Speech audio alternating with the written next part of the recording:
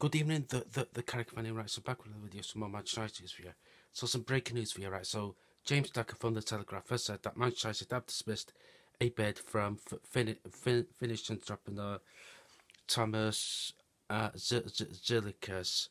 Yeah, I, I, yeah, I, I, was expecting that to be honest with you. I, I, I genuinely hadn't heard of heard of him today. Um, yeah, I, I, I've I've been trying to look look look look and see if she just has made the bid. I'm not, I can't see nothing, to be honest with you, but yeah, but regarding the Ziliacus bid, it wasn't going to work anyway.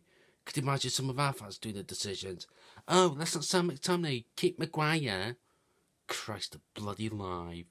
Thank Christ that bid got rejected, but uh, yeah, thank Christ it did.